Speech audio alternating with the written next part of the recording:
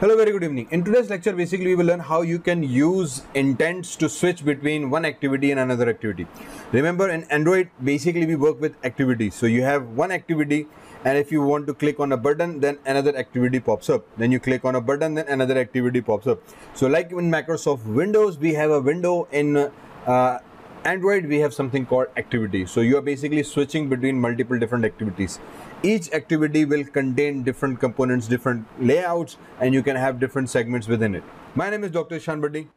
If you're here for the first time, please don't forget to visit my page and subscribe the channel. You will find that on my channel, there are more than 500 video lectures based on PHP, MEL scripting, Maya, Maya embedded language, uh, 3D graphics from developing HTML, CSS, JavaScript to working on Android, Photoshop, multimedia technology, and so on and so forth. So these tutorials will be very helpful and very productive for you. So don't forget to subscribe, hit that bell icon and receive notifications regularly.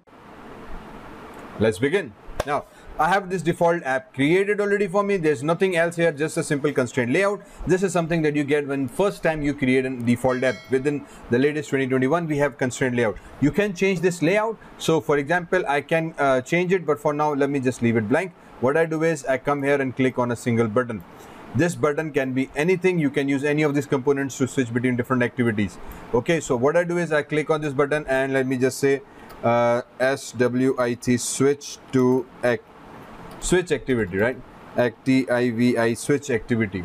And then at the top, I can have a text view component and, and this text view can be uh, my home activit activity, right? So this is my home activity. Let me just increase its font size so it's more legible. 20 SP. I can make it bold uh, and I can make it strong. And then if I come down here inside the background, usually I like to give it some dark colors and here we go let's just make it big screen size. Then if you scroll up we need to assign constraints. So left click on the blue pin click on this blue pin click on the top blue pin and leave the bottom. So now this is constraint. Again these values are different. Whenever you're doing a constraint layout make sure you organize and work with your values as well. Don't just click what I did right now. So what I do is I set this to zero and I set the right to zero because both left and right are 0 0 the component is automatically centered. At the top this is 66 pixels means there's a 66 pixel gap. You can just decrease that gap to a certain point as well. My component is at the center now. Then I have this button as well. So what I do is I pin this on the left I pin this on the right. Come here make set these two variables to 0 pin it from the top. So now it is top 290 I don't mind that pin it at the bottom as well. I don't mind that. But if you want this to be right that center make it 0 and make it 0 so now 0 0 means that from this component it's almost at the center of the uh, uh, horizontally and vertically center so that's done. So now I have my basic button. I have my home activity information available. I think this is little too dark color. Let me just switch it to a little lighter color. I think that would do the trick.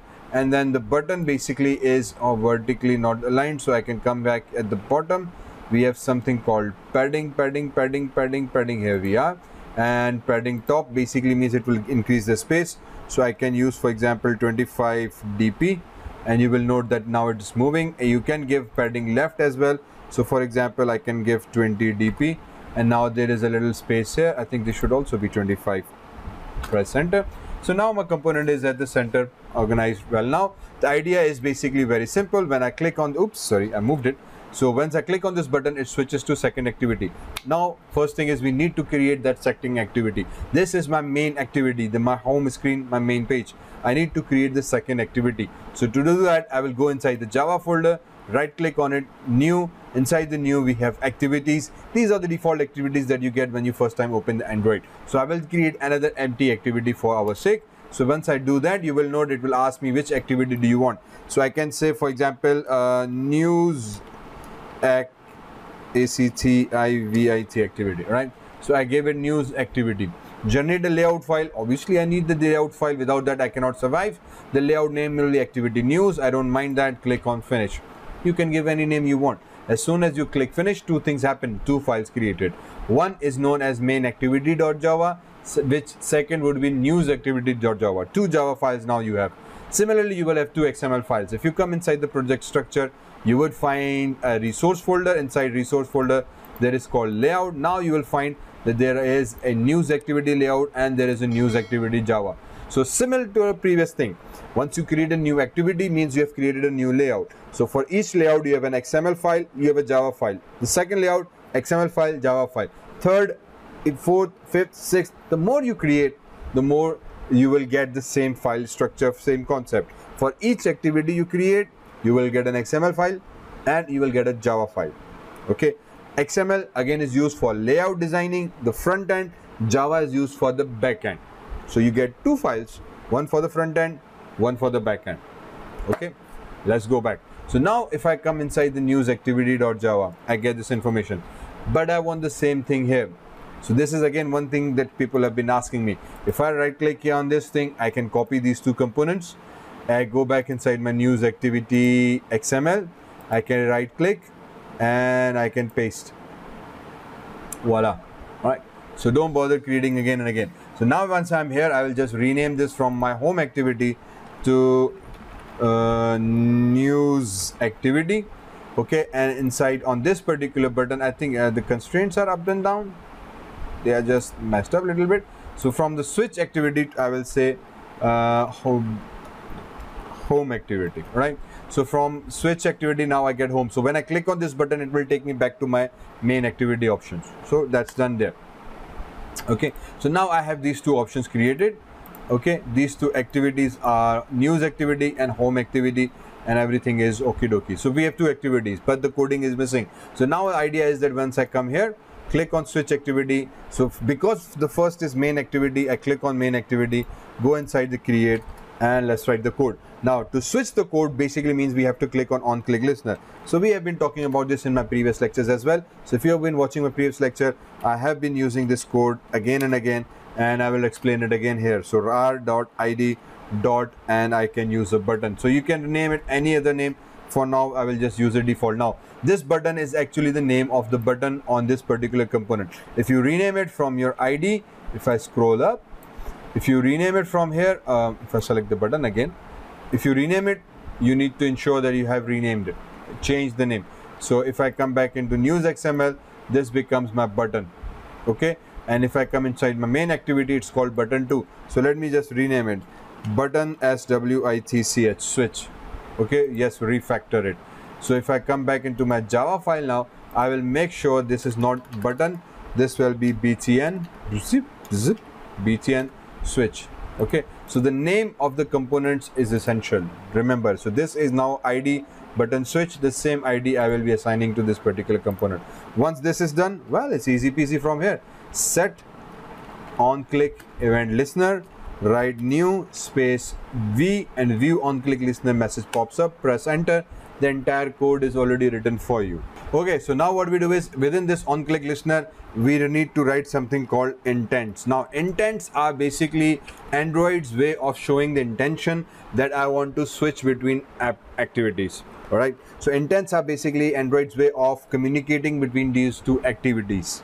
So we write an intent class. So once we do that inside this intent we say my in my intent my int int is equals to new intent.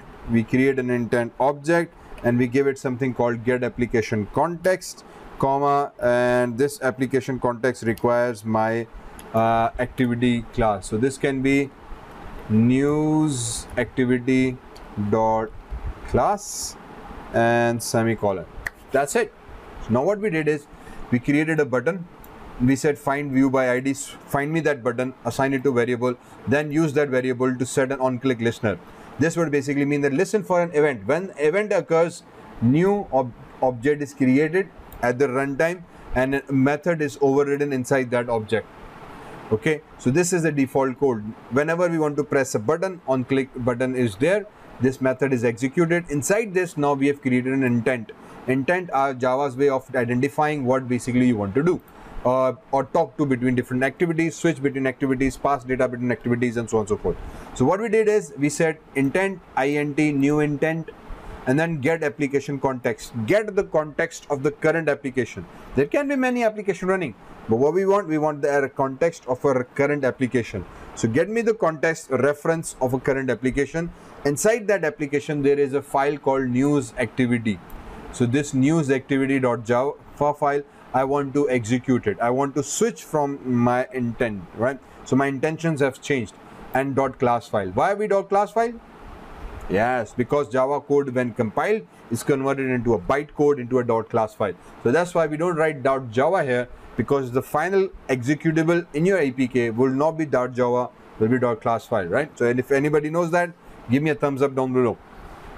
So what we do now is we just write semicolon and this code and we say start activity my intent. Right so now you need to write another method called start activity. This means that I created an intention but I have not yet executed it. In order to execute it I call another method called intent start activity my intent. So now we showed an intention that we want to switch from this activity but this start activity will actually do the transaction. It will perform that activity you know. So once its main button is clicked it will take me to the news activity. Once i'm here now i need to go back into my main activity. So this back button needs to work. What i do is i just copy paste the code. Same code works everywhere. So in each activity i will do the same thing. I just need to name name so i come back here click on this id and this id can be button bsck back refactor it, go into newsActivity.java, button btn find view by id, not the switch this time, button back. So I want the context of this button, find it, assign it to this button variable, use the same variable because this is a different Java file, I can use it, set on click listener, override, back, intent, my intent, but this time I want the intent to be main activity main activity dot class file. That's it. So the only thing we changed is the button name and the activity name. That's it. We just copy pasted the code. So if once you understand the concept copy pasting the thing works. So now what happens that once you inside news activity this will take me back to my home activity. When i'm in home activity it will take me to my news activity. Okay? So let me just write not switch activity news activity and whatever name you want to do so this way you can switch between different activities. Let me run this app. So okay. So while it's running so again idea is very simple. We click on one button it takes you another activity. It can be any button any image any icon any text that you want. You click on this text it will take you to different things. So now the coding basically depends up to you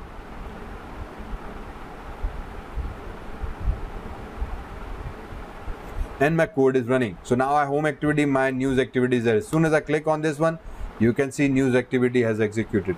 Okay. So as soon as I click on home button, it switches me to back. So now I can switch between back and forth between these two activities.